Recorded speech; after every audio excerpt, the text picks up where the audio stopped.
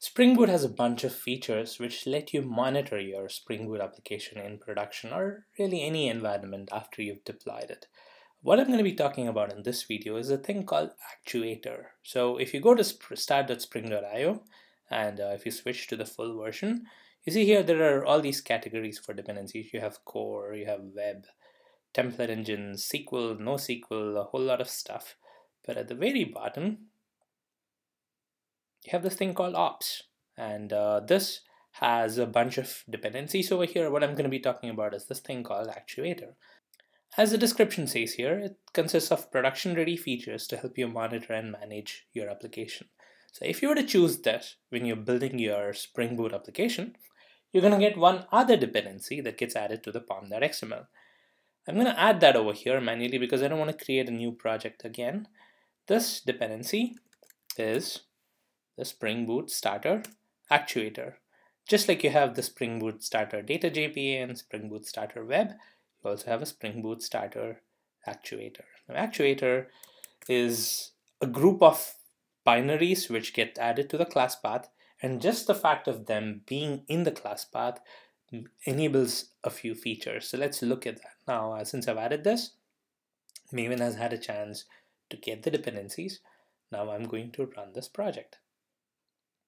Now open Postman, and uh, if I do a get for topics, it returns an empty list again because there's no data, which makes sense. But here's what this opens up. I can do a get request to this URL, localhost 8080 slash health. Now this is not a controller that we wrote. This is thanks to Actuator. If I hit send, now here you can see that it is a JSON file with a bunch of metrics. It says the status is up. It has a JSON object called disk space, which tells you what's the total disk space. This is what's the total, this is what's free. And then it has a database section, which also says the status is up and the database is Apache Derby. This is the embedded database, right?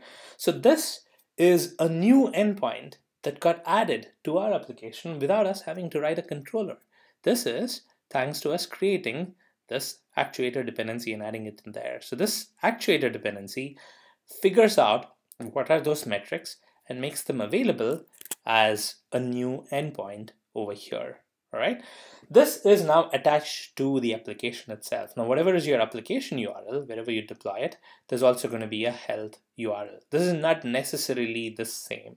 You could have it be a different URL. So again, the, in order to do that, just go to your resources, application.properties.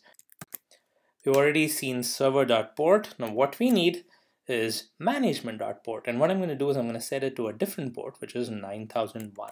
I'm going to save this, kill the server, and start it again.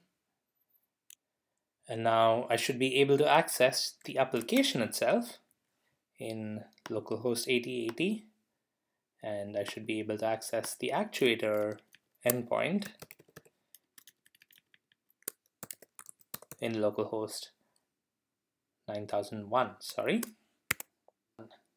Now we see it's exposed at a different URL so this is handy if you want to create different rules and access rights for who gets to access your uh, metrics URL versus your actual application in order to learn more about Actuator, I would recommend this guide, Building RESTful Web Services with Spring Boot Actuator, which kind of walks through what I just did.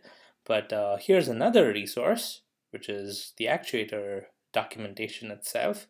And uh, here you see the endpoints section has a bunch of different endpoints that makes it very easy for you to look at what's happening. So what we saw was health.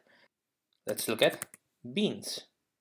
Now here you see you get a list of all the beans that you have in your application. So it gives you the name of the bean, the scope, what's the what's the type including the package name, the resource which links to the actual class file, and what dependencies it has. So this is super useful if you want to analyze uh, an existing Spring Boot application and see what's going on. So there are a lot of really cool features which I definitely recommend you check out. So this was Actuator in a nutshell.